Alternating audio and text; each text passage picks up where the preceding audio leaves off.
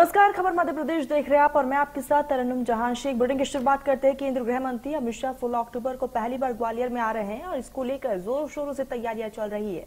शाह के कार्यक्रम को लेकर केंद्रीय मंत्री ज्योतिरादित्य सिंधिया ने कमान अपने हाथ में ले ली है तो वही 16 अक्टूबर को केंद्रीय गृह मंत्री अमित शाह ग्वालियर आएँगे और नवीन एयरपोर्ट के शिलान्यास और एक बड़ी आम सभा को भी संबोधित करेंगे।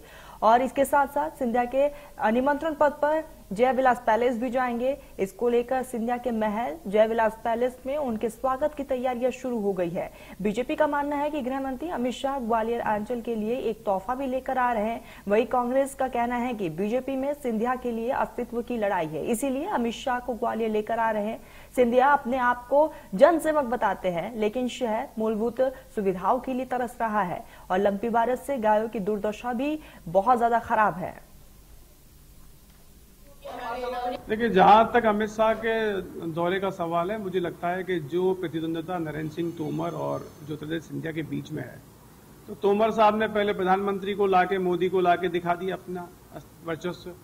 अब उसी वर्चस्व की लड़ाई में, बल्कि मैं वर्चस्व नहीं कहूँगा, अब सिंधिया जी की तो भारतीय जनता पार्टी में अस्तित्व की लड़ाई है तो वो अपने अस्तित्व की लड़ाई के लिए अमित शाह जी को लेके आ रहे हैं। साथ ही साथ मुझे लगता है कि जिस प्रकार से एक बड़ा इवेंट का आयोजन हो रहा है, और सिंधिया जी अपने आप को यहाँ का बहुत बड़ा जनसेवक बताते हैं, हालात इतने खराब हैं ग्वालियर के, बदहाली देखेंगे आप सड़कों से लेके जितने भी आवश्यकता है यहाँ पे लोगों की और साथ ही साथ जो गाय की जिस प्रकार से मुझे लग रहा है कि दुर्दशा हो रही है लंपी वायरस में, ऐसे समय में इस प्रकार की फिजूल खर्ची करना मुझे लगता है कि सीधे सीधे दर्शाता है कि किस प्रकार के दोहरे चरित्र का व्यक्तित्व ज्योतिराज सिंधिया जी है।